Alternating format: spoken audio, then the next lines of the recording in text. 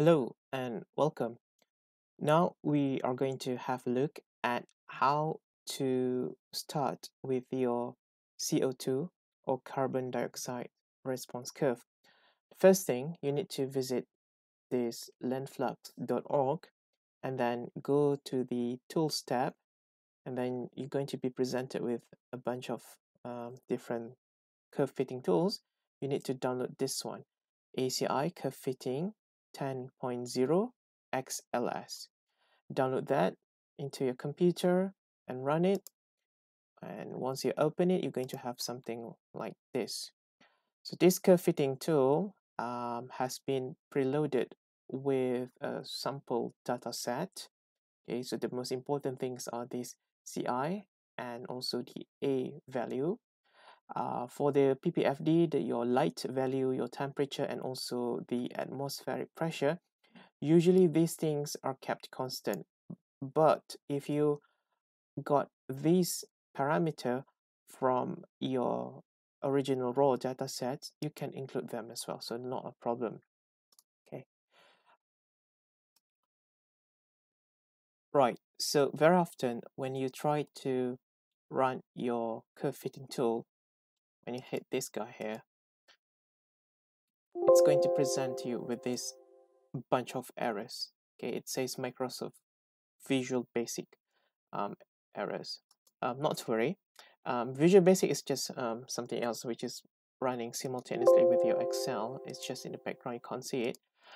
Um, what you need to do now is, number one, you need to um, go to options, of the of your Excel and then you go to add in. Make sure that your Excel add in this guy down here. You hit go. Make sure all of this has been um, checked uh, which they are now so that's fine. And then you need to also ensure that you have access to the developer tab so that you can summon the Visual Basic. This can be done simply by pressing alternate F11 okay? Alternate um,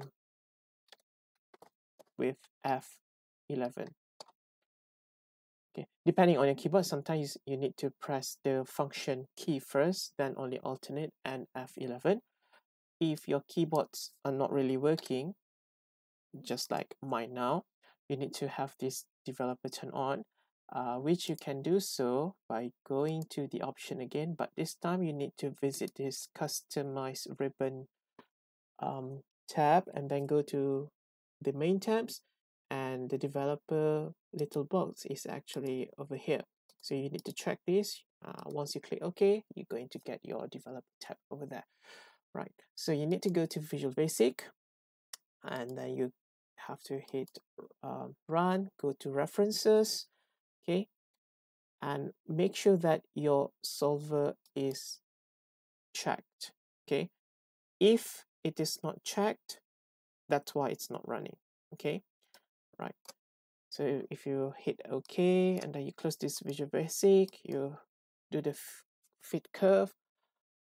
After a while you're gonna have everything running smooth smoothly right? Just like um, what it should do. Uh, right. Okay, that's going to take a while because um, probably my computer is not that powerful. Uh, it's going to take some time to do all the computation.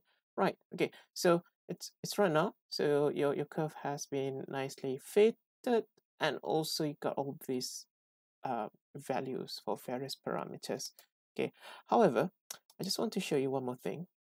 Um, another scenario is um, if your Excel is not properly prepped and the macros are not running really well, if you have a completely new uh, curve fitting tool and nobody has ever done anything to your Excel before, there is additional option in the references list uh, in the um, Visual Basic, which I'm going to show now you need to get rid of this first otherwise um, your um, your curve fitting is not, is not going to work like this one okay? So it's kind of like newly downloaded fresh from the oven okay?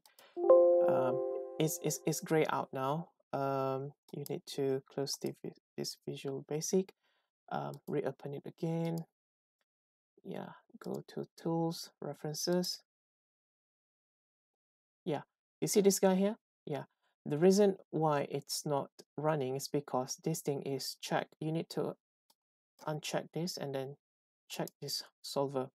Sometime the solver is not on the list here.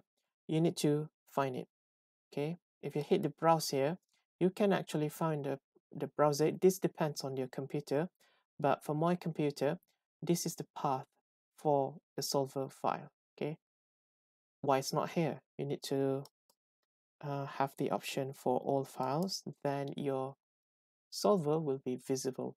So this is the path for my solver. It's um, in the Windows folder then go to the program files Microsoft Office the root Office 16 library and eventually find the solver.